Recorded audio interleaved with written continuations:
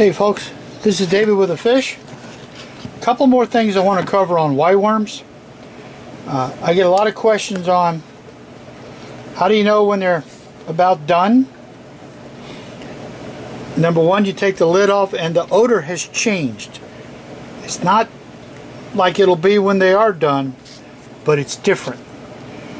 And you start to get streaks of them, not individuals. Next question is, why do I put the this stuff on here?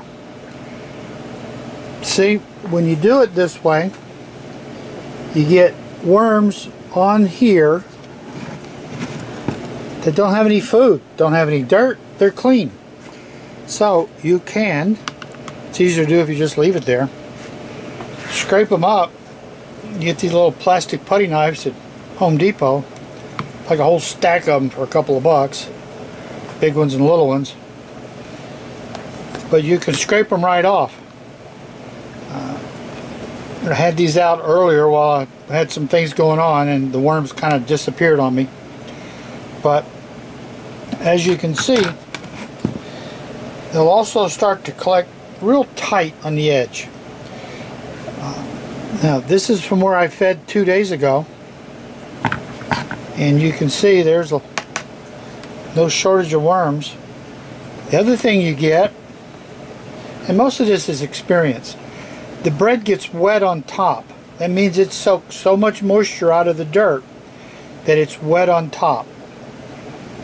That's way too much moisture.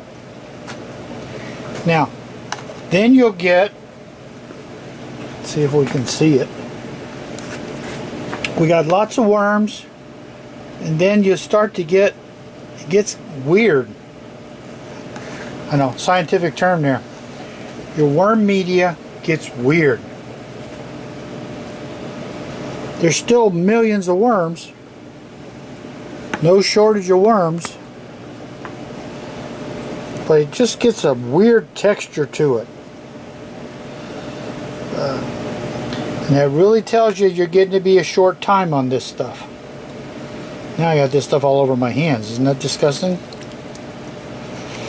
Don't want to lick your fingers. So, that means this one's moving along, but it's not there yet.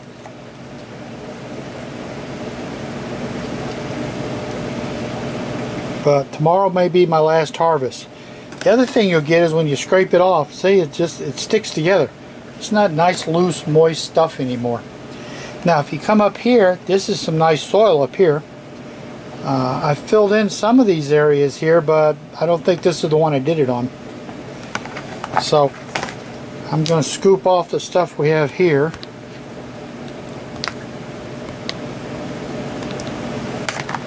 I'm not going to give this one too much to eat because I know it's getting ready to say goodnight.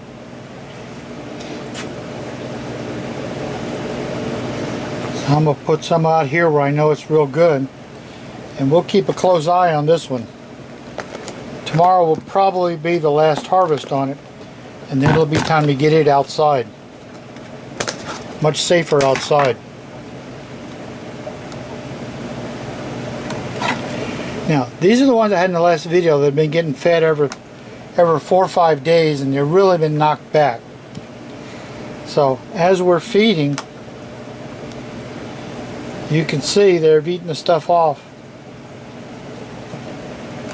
But we're not getting the numbers that we want. But if we dig down in here, there's no shortage of worms. Man, there's plenty of worms. They just haven't got the everything going on, so they're they're happy to get up on top on top of that mesh so I can grab them.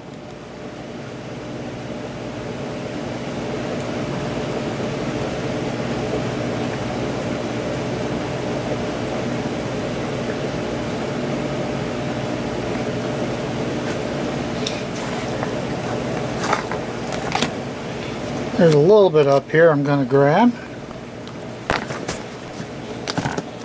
And I think we have one more plus my new one. Okay, here's one more established one. Remember these have been getting really lousy feeding routine. So we've fallen all the way back to eating the yogurt and the brewer's yeast.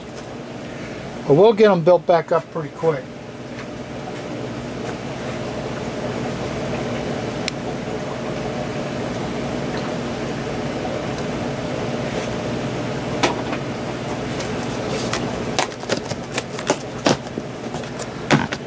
This should be the new one.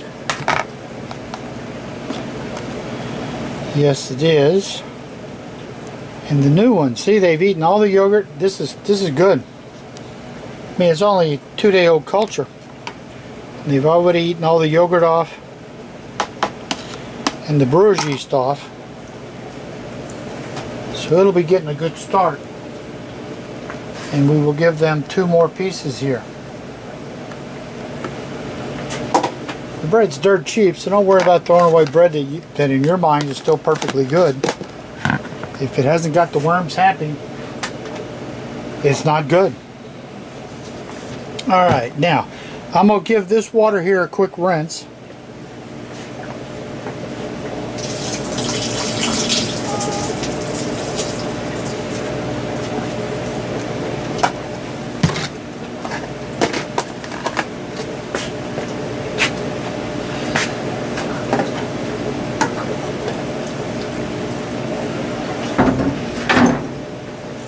There's some folks out there telling you that you can freeze these white worms. Well, I've never tried it. So I'm going to turkey baster a bunch up, put into about a half, three quarter inch of water.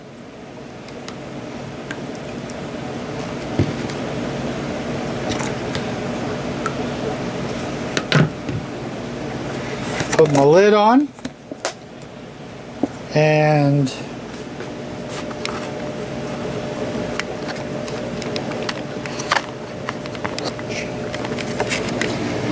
Can you tell who's waiting for their wormy bread? Alright, since you're down here, I always have to save a piece of the wormy bread. Sticks to the roof of his mouth sometimes. I know. Oh, we can make four pieces? Oh, we can make five bites out of that. Oh, good boy. Here you go. Okay, lick up the fingers. Oh, that go wormy bread? Good for you. All right, we gotta get back to work now.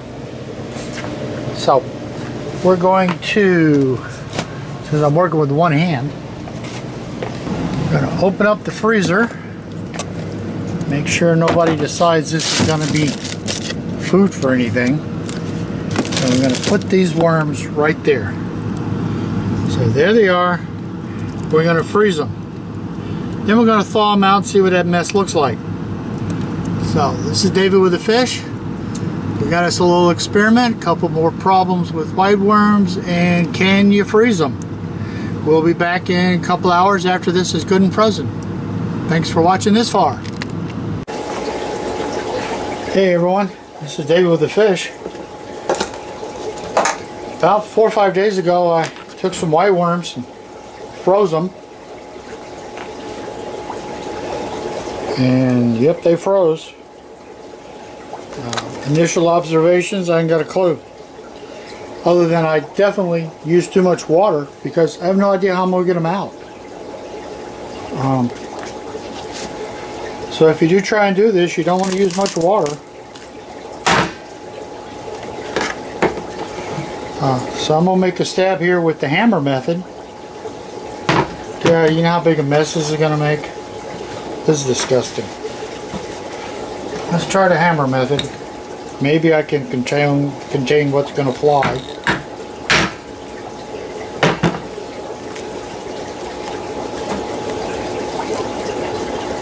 Alright, we got some worms in there. There's some more.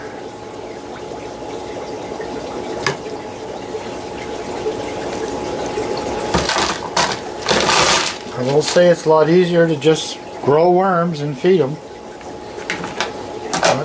on the off chance this works, I'm going to put this back in the freezer.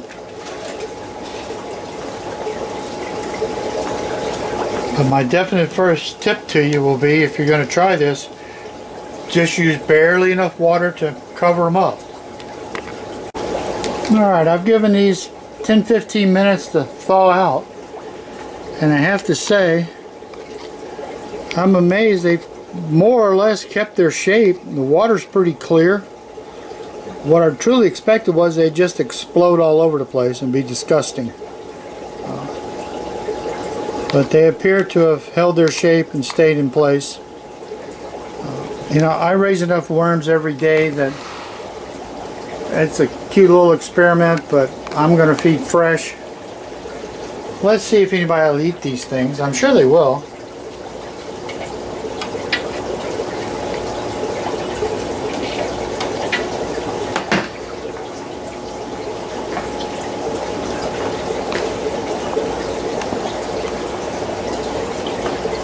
Huh, they sink a lot slower.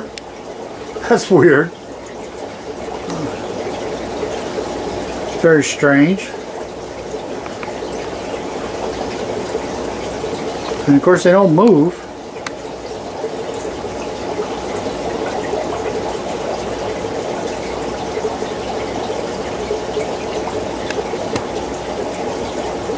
It does look like they're still going to eat them. At least they're going to run around with them.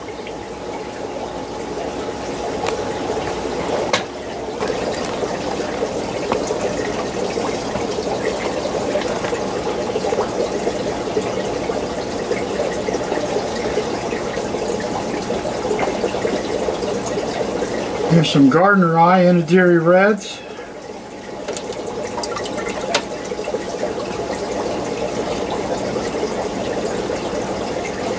Looks like they're sucking them up, same as if they were real. So.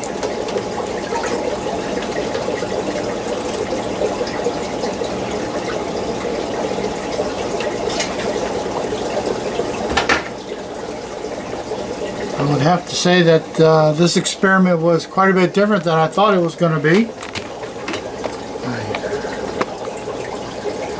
I really thought they would all fall apart. They seem to have held up. And the fish seem to still eat them. So I guess if you got a whole lot left and you don't have any more coming, you could freeze them. Just don't use very much water because you can't get them out of the water. Uh, probably don't want to use the hammer method. Lucky that I didn't shoot all over the place. Uh, I don't have any problem having worms whenever I want them, so this is just like a little experiment for you guys. Doesn't really matter to me one way or the other. Uh, this is David with the fish. Freezing and thawing white worms. Do it if you want. Thank you for watching.